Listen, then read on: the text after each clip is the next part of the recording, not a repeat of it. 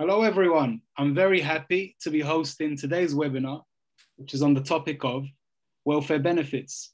I'm delighted to be joined by our, by our expert speaker, Mr. Richard Conway. Richard, how are you? I'm fine. Thank you, Tabir. Thanks for having me today. It's an absolute pleasure to be having you on today, Richard. Thank you for your time and efforts, and we're really looking forward to the session ahead. That's my pleasure. Let's have a look and see who's joined us so far today. So I can see we have 11 participants and it's growing 13, 15. Let's have a look at who's joining us. So we have Brenda. Brenda's joining us today. Estelle, Claire, Liz, Sonia. Hello, everyone. Thank you all for joining us. It's great to have you all on. Let's wait a few minutes to try and get as many of our attendees on so they don't miss out on anything.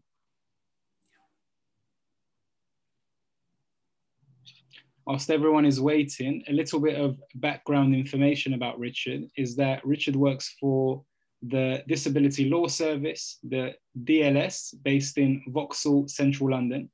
Richard deals with the Welfare Benefits Helpline and advises those with long term illnesses. So we're in great hands today. Hopefully. The, the format, no doubt. The format for today's session is that it will be broken down into two parts. Uh, the first part will be a presentation by Richard, and the second part will be a Q&A opportunity where we'll be taking uh, in your questions uh, and putting those to Richard. We'll do our best to answer as many of those questions as possible.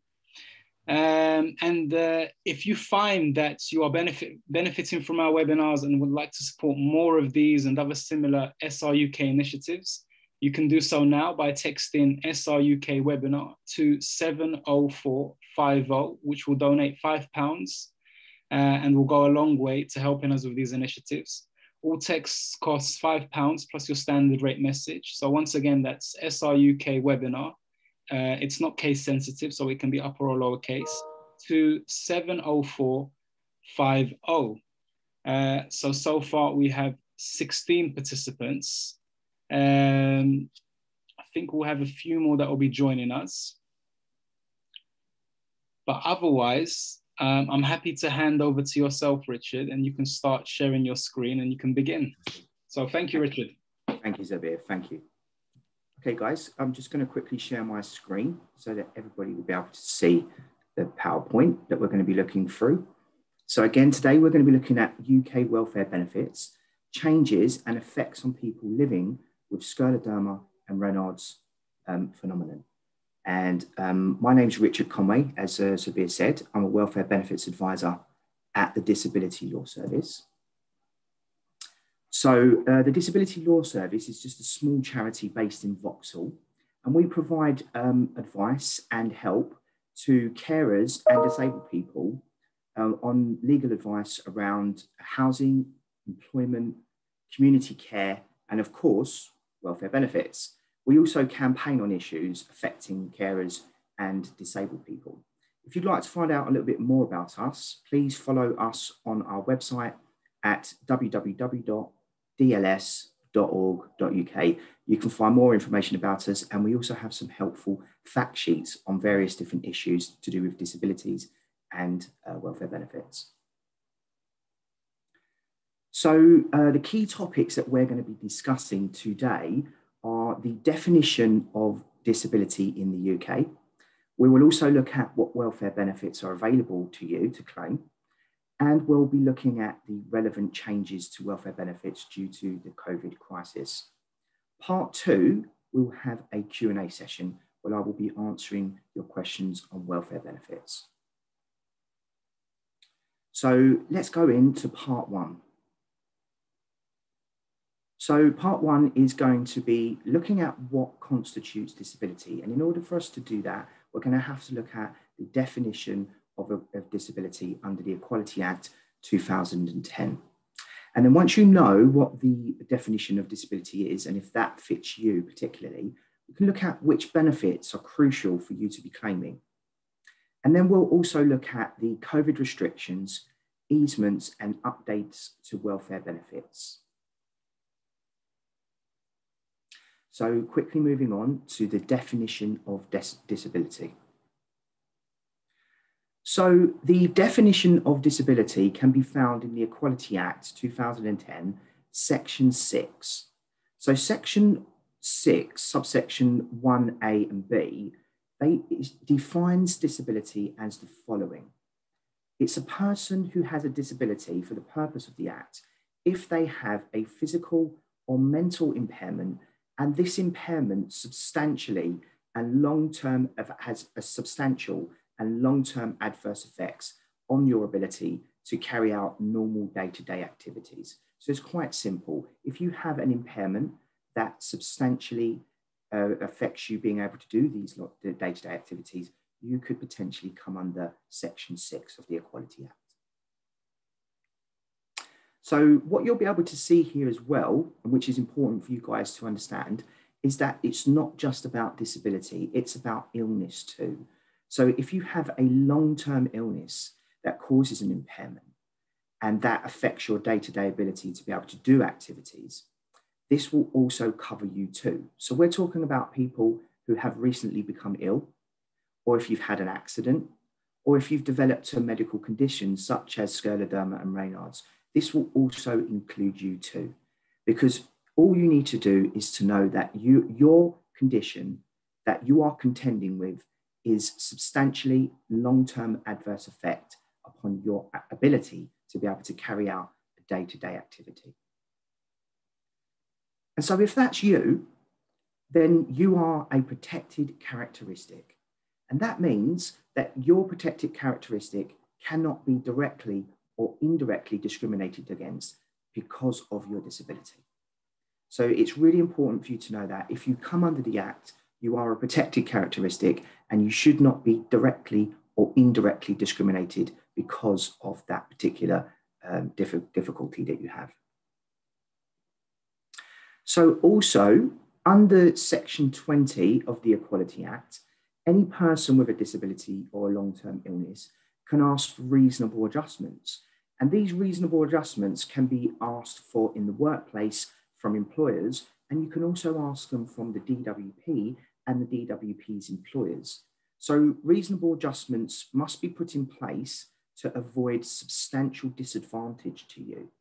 So because of your impairment or your disability or your long-term illness, if you are trying to access employment, if you are trying to get to and from work, if you are having to access an assessment with the DWP, you can ask for reasonable adjustments to help you not be substantially disadvantaged in being able to access those particular activities. And so now that you know that you are protected, what benefits could be crucial for you to be uh, applying for? So there are two types of benefits in the UK. There is a income related means tested benefits and there are non-means tested disability benefits. And it's really important for you to separate the two, okay? Because sometimes people can look at these and think that they're the same. They're not. They're, it's, it's, it's very important that if you're getting one of these benefits or both of one of these benefits, then you should separate the two. So for income related means tested benefit, the main benefit today is universal credit. And I'm sure many of you will know what that benefit is and you'll be on that benefit. But also, if you're not on any benefits at the moment and you are uh, having difficulty with getting to work because of an illness, then you can apply for new style benefits. These benefits are based on your previous national insurance contributions. So you can get new style job seekers allowance or you can get new style employment and support allowance. And apart from that, for disability benefits, depending on your age. So anybody between the age of 18 and state pension age can apply for personal independence payment, which some people call PIP. And there's also disability living allowance for children because adults can no longer apply for disability living allowance. Attendance allowance is for people who have reached state pension age and carers allowance. So that sometimes people get carers allowance mixed up with means tested benefits. Carers allowance is based upon your earnings, not your capital or your savings. So that's why it's not a non, it's a non-means tested benefit. They do, it is based upon your earnings. So you can only earn 128 pounds a week. And if you're caring for somebody who gets one of the above benefits, like PIP, disability living allowance or attendance allowance, if you're caring for them regularly and substantially for 35 hours a week, you could potentially uh, apply for carers allowance for doing that.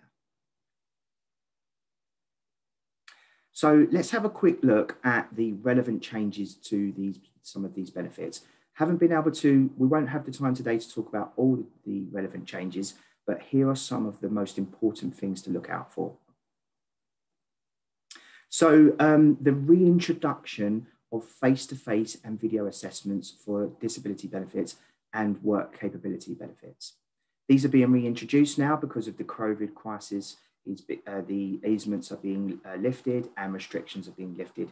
So it's really important for if you're coming up against an assessment, if that's going to be you, if you're, you're looking forward to an assessment or um, that's going to be you in the future, remember to ask for reasonable adjustments, okay? You can ask for these reasonable adjustments. You can have them put in place by the assessment providers such as Atos, Capita, and Maximus. They actually have a public duty to put in place reasonable adjustments if you ask for them.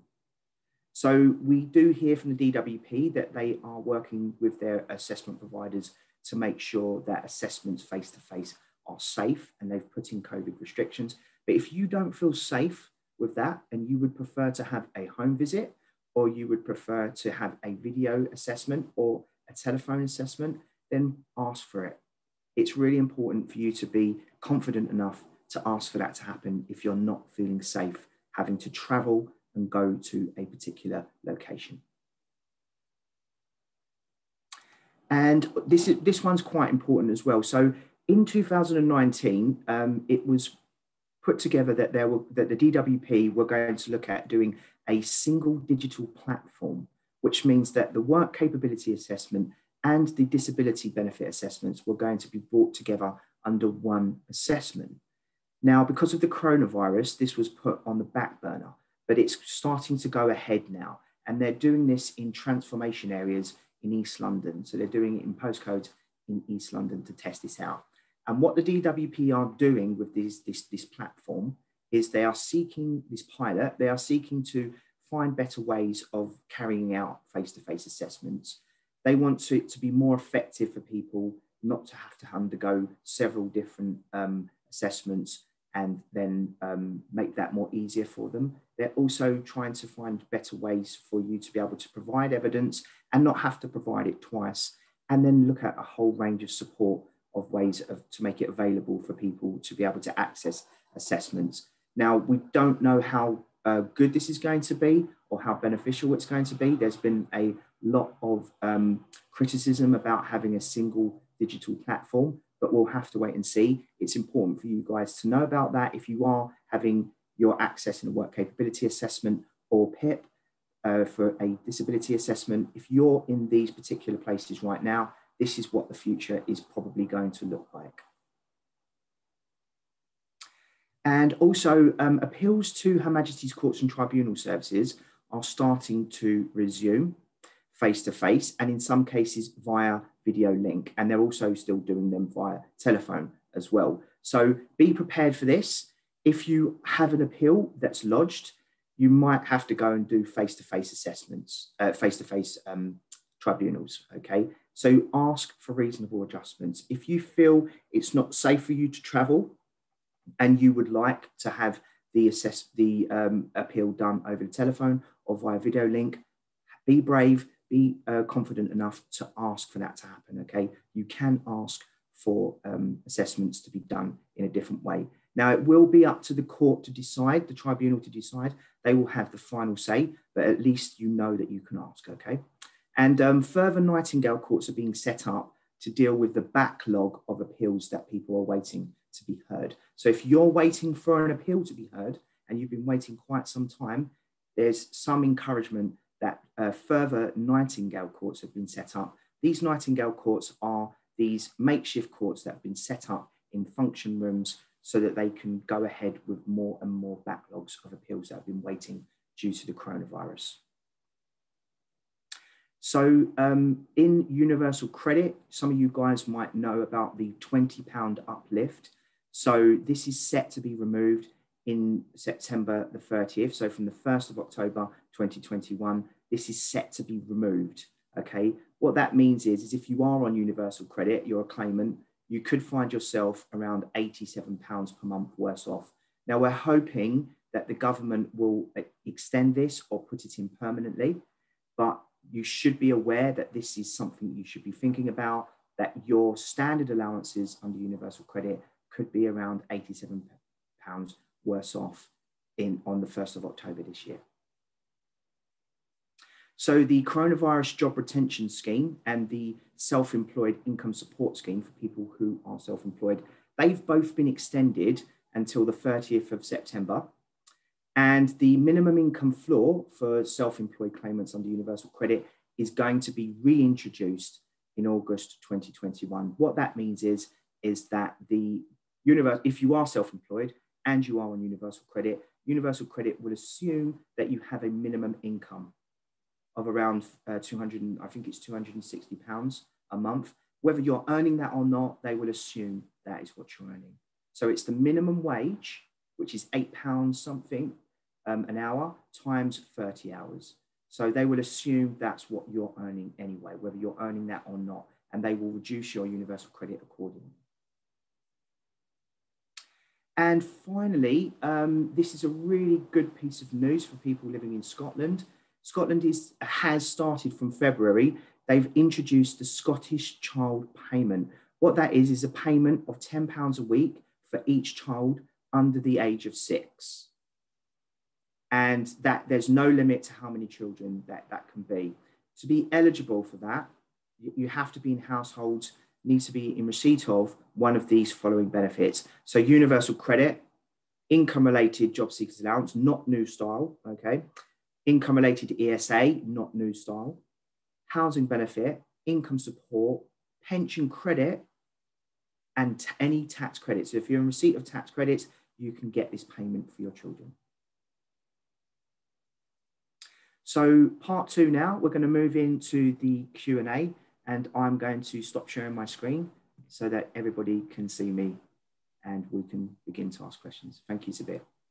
Thank you very much, Richard, for the very insightful presentation. Uh, we've no doubt hugely benefited and there's a, a, lot of positive feedback in the comment section. Thank you. Cool. Let's have a look. And we've also had some questions come in. Um, I'd also now like to take this opportunity to guide you all uh, into sending uh, your questions over to us by hovering over the Zoom application. There's an area that says Q&A. If you click over that section, you'll be able to send in your question to us and I can then put your questions uh, to Richard. We'll do our best to answer as many of the questions as possible. Um, also, uh, a reminder, if you would like to donate, you can do so by texting SRUK webinar to 70450 and text costs five pounds plus one standard rate message. And that's the text five pounds uh, to donate five pounds to SRUK if you, if you are benefiting from these webinars and would like to support future webinars and other similar initiatives that SRUK run. Um, I can currently see we've had a few questions come in. We've had one from uh, Melanie, and Melanie uh, says, if we are counted as registered disabled due to scleroderma, do we qualify for VAT relief? For instance, if purchasing a scooter? Uh, thanks for your question, Melanie. Um, quite simply, I don't know. I do not know the answer to that question. Um, that's a VAT question. What I can do though is I can find out the answer to that and I can uh, get that answer to you. So what I would suggest is, is that if you would like to email me this question at benefits at dls.org.uk, and I'll also put this in the chat box so that you can see this as well. Um, if you give me that email, uh, that, that send that over to me, I will research that for you and I will find out the answer to that question. Thank you very much, Richard. Was that benefits at dls.org.uk? That's right, yeah. Fantastic. I've just added that into the chat for anybody. Thank you, Zabir. Thank you. would like to send in their questions direct to Richard.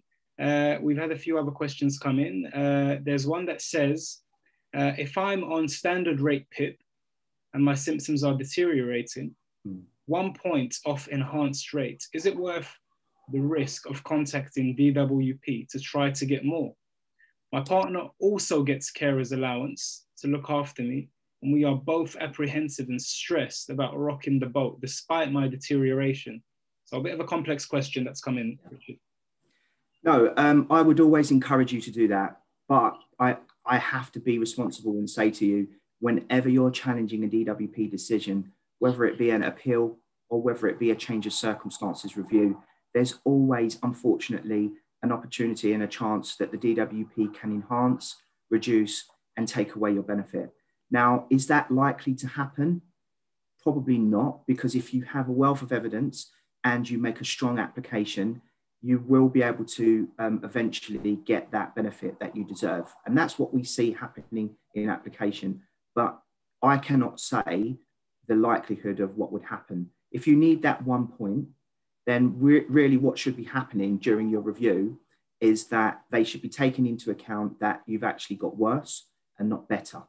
Now, that doesn't always happen in application.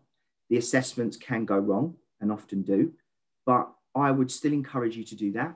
And again, if you wanted to discuss that further with me on better ways in which to um, come forward with what evidence you should be ap- applying and um, how you should be um, writing your renewal pack for your review, then you can always come and speak to me at the DLS advice line if you want to call me on 0207 791 9800 I'm on option five. If you leave a message on the answer machine, I will get to you in about five days' time and we can have a quick half an hour discussion on troubleshooting ways in which you can, you know, feel more confident in making a, re a review if you need to. But I would encourage you to do it because you should be getting the PIP that you deserve. Thank, thank you, Richard. Do you mind just repeating the number very quickly so I can add? Yeah, sorry. It's 0207 Yep. 791 yep. 9800. And it's option five. Thank you, Richard. Thanks. Uh, we've had another anonymous question come in, and it says If I'm moving house from a well insulated and adapted house to an uninsulated one with no underfloor heating or bathroom adaptations, who do I contact to get help? with adapting my next home to my Raynaud's and systemic sclerosis? Yeah. So this isn't actually a welfare benefits question, but I will give you the information as much as I know. So the Disability Law Service, we actually have a care community section who can actually, and a housing section where the two overlap with each other. So it's actually occupational therapy at your local authority who you should be contacting in regards to adaptations and whether or not the property that you're moving to is actually going to be suitable for you and whether that's the right move to make. So um, if that is the issue that, and I've got it right, it's really you should be contacting the occupational therapy team at your local authority. But if you need some support or some further information on how to go about doing that, again, call the number 0207 791 9800 and select the option for the housing department and they will be able to give you further advice on how you can go about getting those adaptations or the suitability of your property.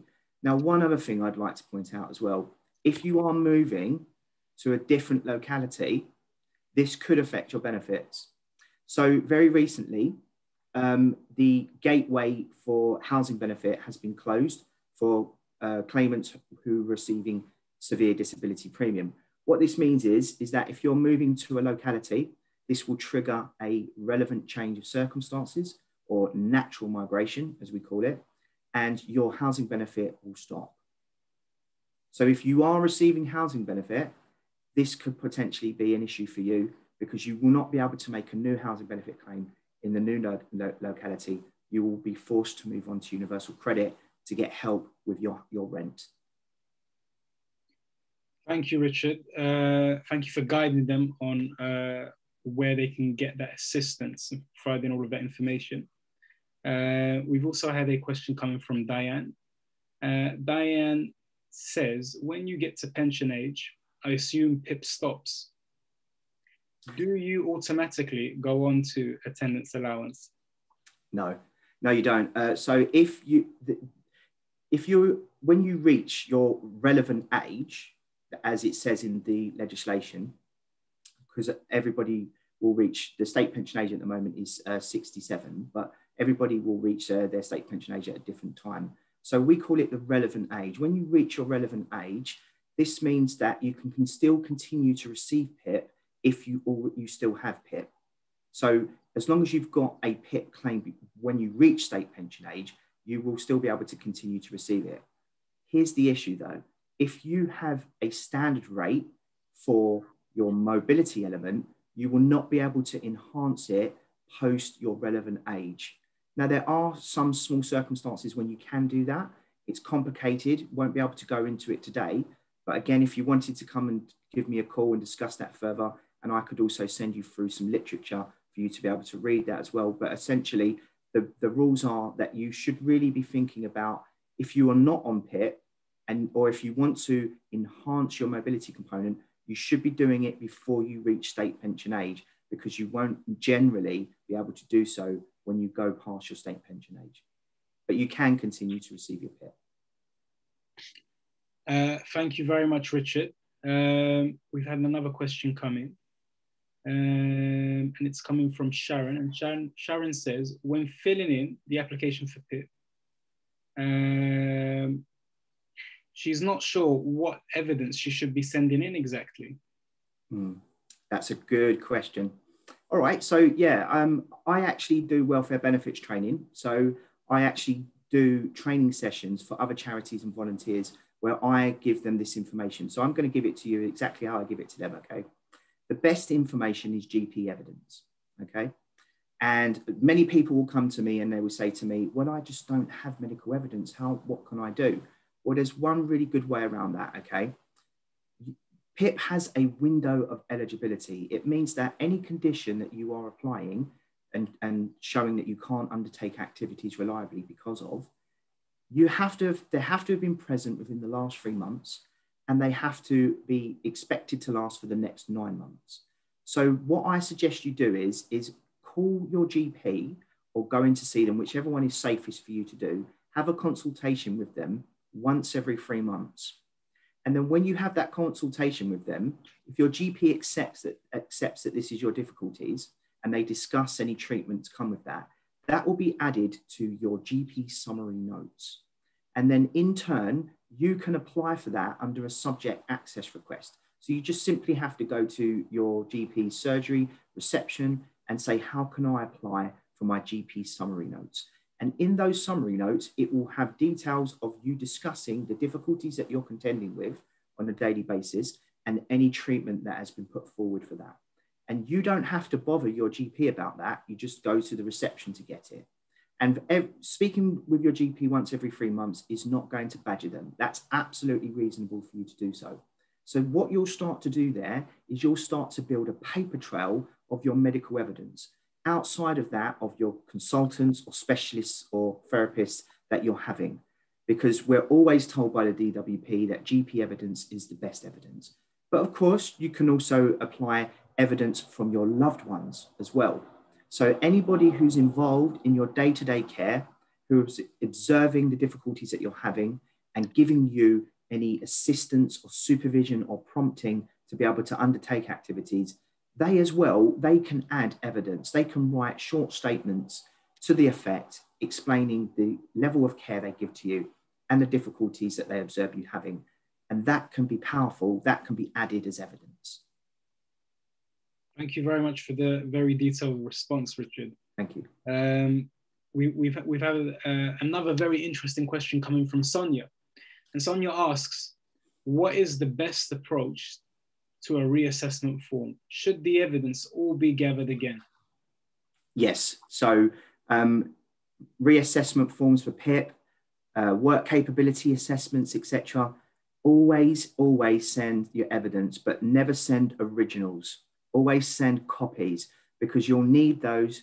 Um, it's difficult, isn't it, to get your, your medical evidence? It's difficult to compile it. It's difficult to get it. And the last thing you're going to want is to find out that the DWP's lost it or Royal Mail's lost it, and then you've got to build that up again. So when you're filling out a form and you're applying for whether it's a work capability assessment or a PIP uh, assessment, make sure that you are supplying medical evidence. Now, um, one piece of information I should give to you is when you're filling out a PIP form, for instance, or a work capability assessment form, have a look at the wording in the section where it says, tell us about your medical professional. It says we may contact them. It doesn't say we will contact them. And that is really interesting, isn't it, to know that because they, they might not contact your medical professional. So don't rely upon them contacting your medical professional send the medical evidence in, send copies of your medical evidence, and do it every single time. So, also take a photocopy of your application as well, so that you can look back at it and you can see. And also, if it gets lost, then you've, you've got a copy to spring from straight away. And again, the golden rule when sending any correspondence to the DWP, whether it be an appeal or an application, always send recorded delivery. It's very important. This is the golden rule. A lot of subtle hints there, Richard. So there's a, a lot of attention to detail there when it comes to the reassessment. So thank you for that, Richard. Um, a lot of points to take in. A question is coming from Claire, and Claire says, is there a waiting time for PIP from the date of application? So there's no waiting time as such. Um, before the coronavirus, it would usually take around about eight to 12 weeks from application to assessment to payment. Um, obviously, because of the coronavirus, that has gone up, you know, quite quite a, a lot. Um, so you could be waiting longer than usual for an assessment for a decision. But really, generally, it should be around about between eight to 12 weeks from application to assessment to payment. Thank you very much, Richard. Uh, let's have a look at some other questions that have come in. Liz asks, could you please uh, explain reasonable adjustments again? Yeah. Okay, so under section 20 of the Equality Act, um, the DWP, employers and their relevant partners, they have a league, they have a public duty to apply reasonable adjustments that have been asked for. If they're reasonable, they must apply them if it will go some way to reducing a disadvantage, a substantial disadvantage. So, to give you an idea of what that means, very recently, a member of SR UK came to us and our employment team, and we gave advice. So this particular individual was asking for um, reasonable adjustments in the form that they wanted to work indoors instead of being outdoors. And this would then in turn reduce triggering of their Raynaud's and scleroderma uh, phenomenon. And so that was more than reasonable to ask for if it could be achieved, because then it would avoid any substantial disadvantage to the employee. And so that's what we're talking about here if there is any way in which the employer or the DWP can remove obstacles, barriers that will create a substantial disadvantage to you, then they should be applying them. They have a public duty to do so. So don't be afraid to ask for things from the DWP, from your employer, etc., to help you to avoid substantial disadvantage in the workplace or at your assessments. So I hope that answers your question. Thank you, Richard. We've, we've had another question come in. It's a bit of a complicated one. It says, can I still claim benefits if I have some savings and I live with a partner? I guess it depends on which benefit, of course. Yes, it does. So uh, means tested benefits, universal credit, um, the old legacy benefits such as uh, housing benefit if you're receiving them, um, uh, income support, ESA. So if you're if you are receiving those legacy benefits or universal credit, there's a capital limit, and the capital limit is six thousand to sixteen thousand. So if you've got over you and your partner as well, so this will count your partner. If you have savings, capital or assets that are over sixteen thousand, you're actually not entitled to income related benefit. And it's your ongoing duty to report this to the DWP. So um, if you have, um, you and your partner have savings, capitals, or assets between six and 16,000, then depending on which benefit you're on, they will apply what's called a tariff income. So if it's the old benefits, such as the legacy benefits, such as housing benefit or ESA, then they will apply one pound, reduce one pound of your benefit every week for every 250 pounds you have in excess of 6,000. So up to the amount of 16,000. So for every 250 pounds you have from 6,000 up to 16,000, they will reduce one pound of your benefit. For universal credit, it's slightly more. It's £4.35 per week. And that obviously will be translated into your assessment period, which is one month. So I, I hope that answers your question. Thank you very much, Richard. Um, I'd like to again encourage everybody uh, who hasn't so far to please send in a question by hovering over the Q&A section uh, so we can put those questions to Richard. We seem to be doing really well and ahead of schedule in, ter in terms of the presentation and in terms of answering the questions.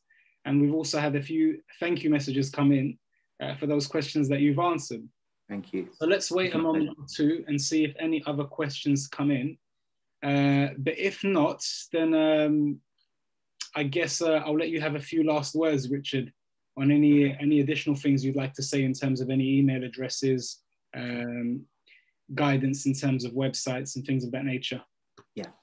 Okay. Yeah. So um, I'll take this opportunity to say that um, if any of you are facing a work capability assessment or a PIP assessment, there are two very great websites that I think you should go and have a look at. For the work capability assessment, it's wcainfo.net. So it's wcainfo.net. And that's for work capability. That's for the work capability assessment, yeah. So this website details the activities, the scoring descriptors, it has links to legislation, it has um, definitions of the terminologies that they use, and it also has case law as well. They discuss the conditions and they discuss, discuss all the issues that are around the work capability assessment. It is very, it's a very good website. I cannot recommend it highly enough. It will go a long way to helping you to understand the assessment that you are going to go under. And also there is a sister website to this, which is for PIP, and it's PIP info.net. So PIP info dot net. And essentially, it's exactly the same, but it's about PIP. So the work capability assessment is in blue and the PIP is in purple. And it's set out exactly the same. It's very easy to use, very easy to navigate around, and it has all of the scoring descriptors, all of the activities, the case law, links to legislation and terminology. And it is a fantastic website for anybody who's facing PIP to go and have a look at and to be able to familiarize themselves with PIP. So those two particular websites, really great for you to go and have a look at to be able to arm yourself with some information and to understand the benefit that you're applying for much better. And then other than that, I would just reiterate that if you are having difficulties with your welfare benefits, come and speak to me if you can on 0207 791 9800. I'm on option five. You'll be able to leave me a voice message with your name and your telephone number, and I'll contact you back as soon as I can. It's usually around about uh, four to five days. I'm sure you'll understand it's a very busy time in welfare benefits. And you can also give me um, a an email at benefits at dls.org.uk. And again, it takes around about four to five days for me to get through to your email. But, you know, please do get in contact with me if you're struggling with your welfare benefits. Uh, thank you very much, Richard, for all of that amazing guidance, you know, for, for pointing everybody in the right direction. I'm sure it's hugely appreciated. I'd also like to let everybody that's joined us know that we have a a new and improved welfare benefits section on the website.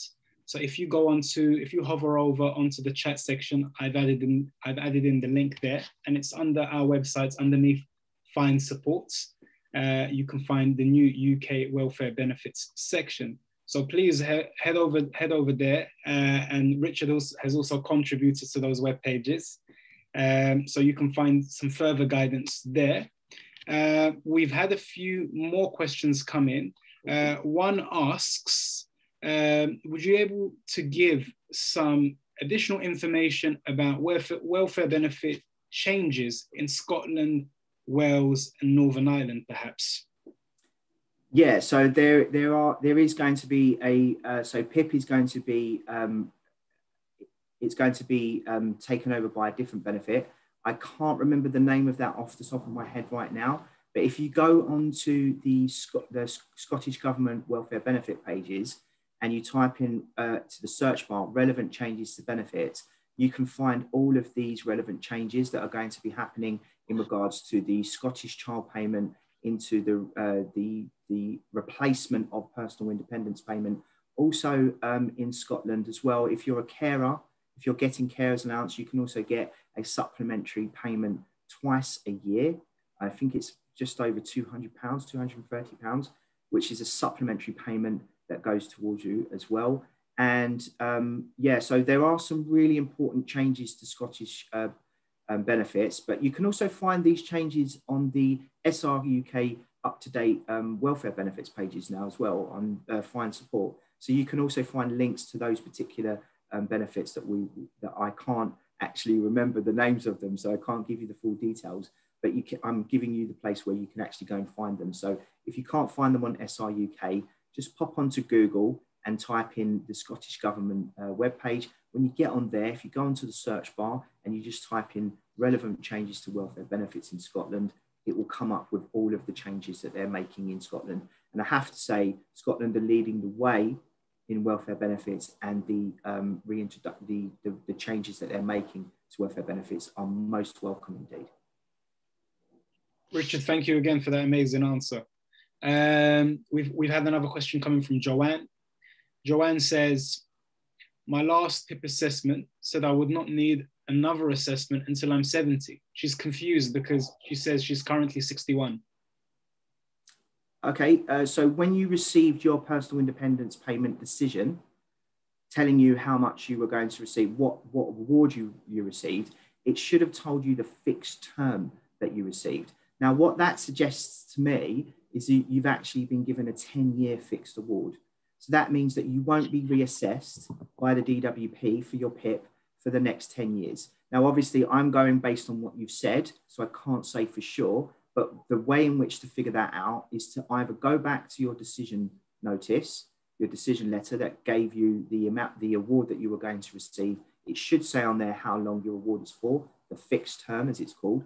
If you can't find that, then give PIP a call and have them send the letter back through to you so that you can have it there for your own correspondence. But essentially, if what you're saying is correct, if I'm understanding what you're saying, it seems to me as if you've been given a 10 year fixed award. So, congratulations on that. That's fantastic. And hopefully, you won't have to be reassessed for another 10 years. Now, you should understand, though, that PIP can reassess you at any time, regardless of how long your award is for.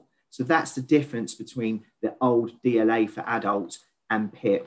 There's no indefinite awards anymore. You have to have a fixed term, and that fixed term is generally most people get between two and three years and it can go anywhere north of that. But you seem to have been given a 10 year award. So, congratulations for that. I'm really glad to, to hear that.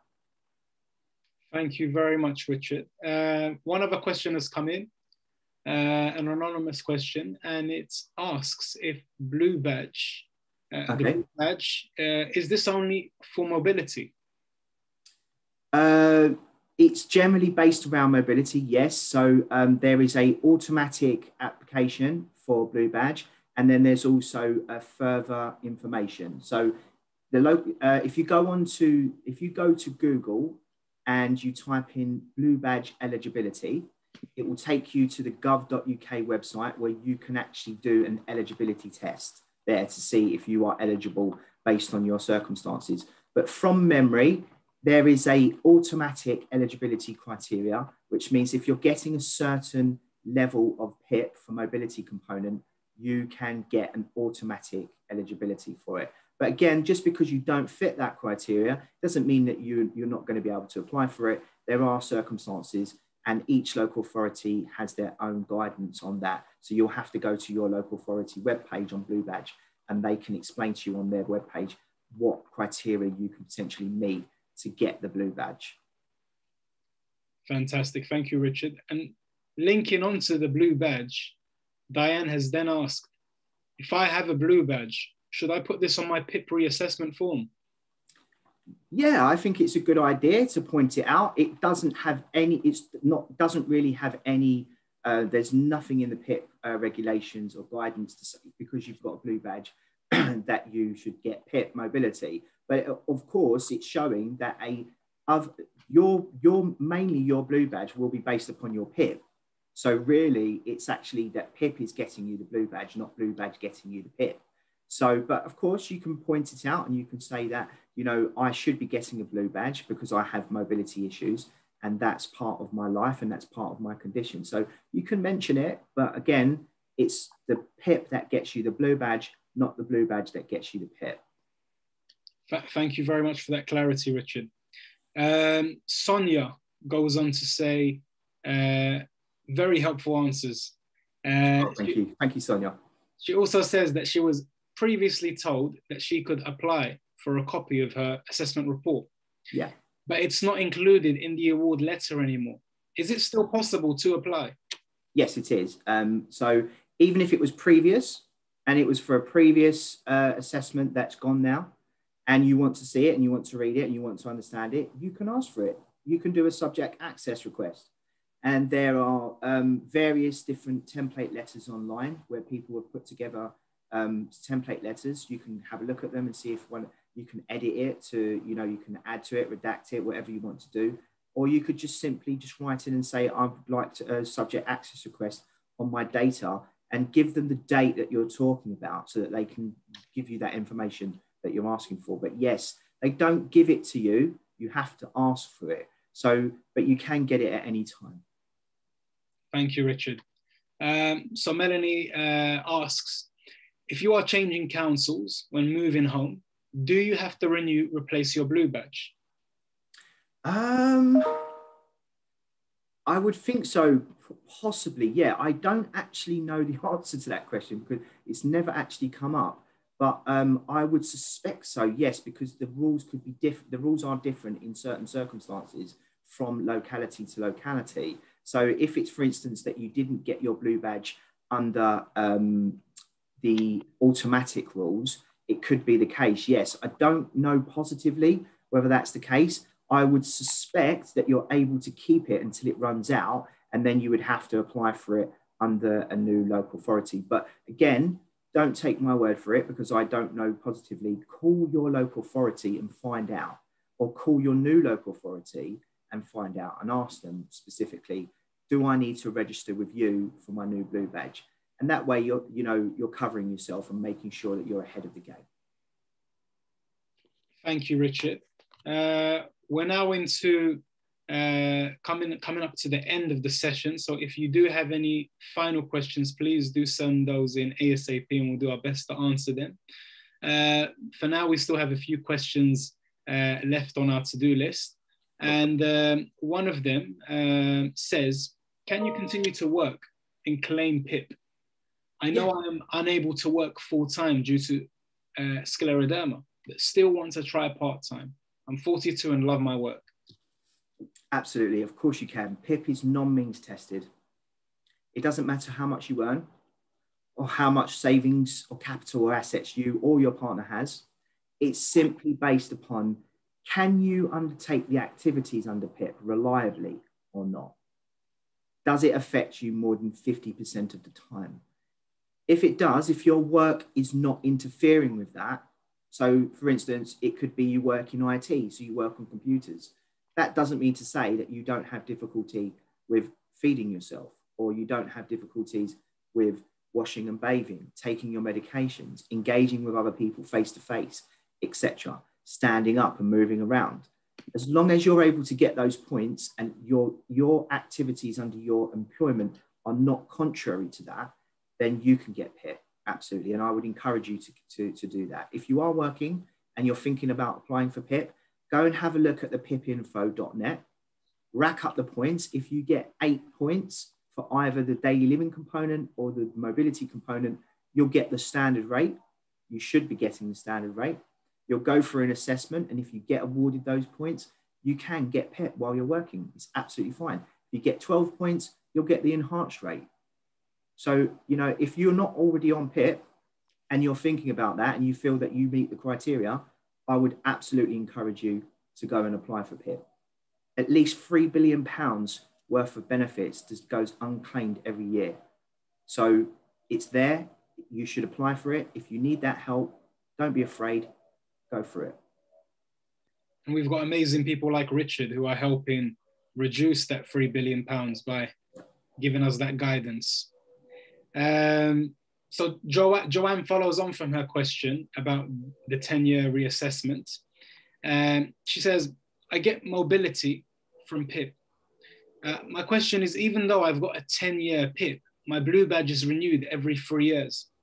So what information do I need to send in for this if I'm not being assessed? Is it a case of just letting them know that a PIP is set for 10 years? Is that sufficient?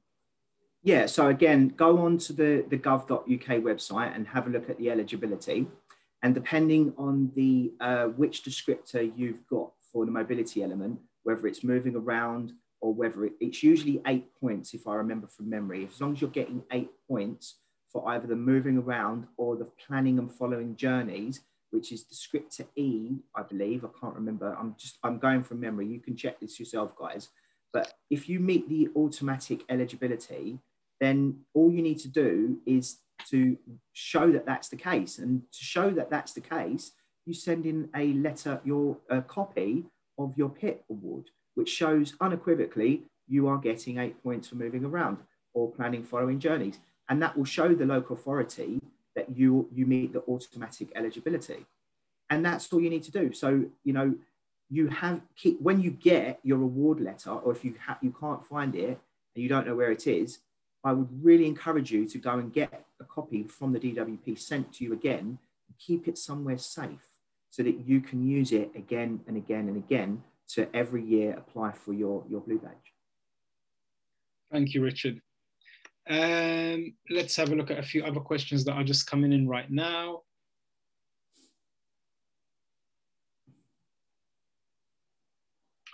Uh, so I think you've probably already covered this uh, in terms of means tested or not being in that list. Uh, so Angela just asks for clarification on if you can get PIP if you are self-employed or thinking of going self-employed. Yes, absolutely. Self-employed, if you're PAYE or you're self-employed, you can still get PIP, but it, it's not because it's non-means tested. It's not about what you're earning. It's not about how much you uh, you have in savings or how much property you have, assets, for, for instance. It's about whether you meet the criteria. Can you do activities reliably or not? So the word reliably is really important because it, it's actually defined under the the uh, PIP regulations 2013. And it means if you can't do an activity safely to an acceptable standard in a reasonable time and repeatedly, and that's happening to you more than 50% of the time, then you should be able to apply for PIP. So if your self employed work is not contradicting, is not interfering with those activities, then you should be applying for PIP and you shouldn't need to worry about um, your what you're earning or you know what assets you have because it won't be taken into account. Thank, thank you, Richard. Uh, so this is the last question that we'll be taking, and it says, "My work is now uh, being affected by my condition, and I will be addressing this with my employer when I return to work following sick leave.